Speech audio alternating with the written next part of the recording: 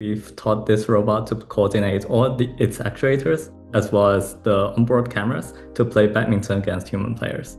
Yuntao Ma is part of a team of researchers who have developed an AI-driven robot capable of playing badminton with precise coordination, even in fast-paced games.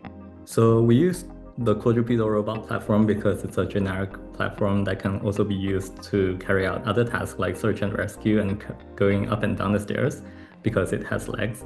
And uh, in badminton, uh, the legs also provide a unique uh, ability for the robot to tilt its base uh, compared to wheeled platforms.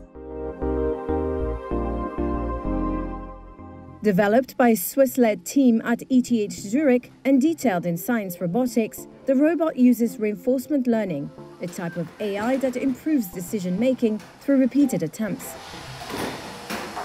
The robot learns by trial and error to make better decisions.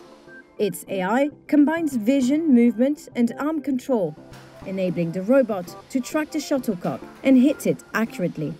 A perception noise model trained on real-world camera data ensures the robot maintains consistent performance.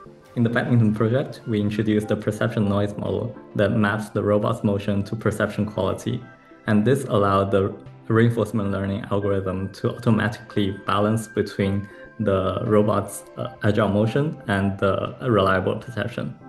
Ma believes this project showcases AI's potential to advance legged robots in complex tasks, paving the way for advancements in autonomous intelligent systems, including humanoids. The control algorithm also generalizes to other robot platforms such as humanoids and also other tasks such as search and rescue and home services.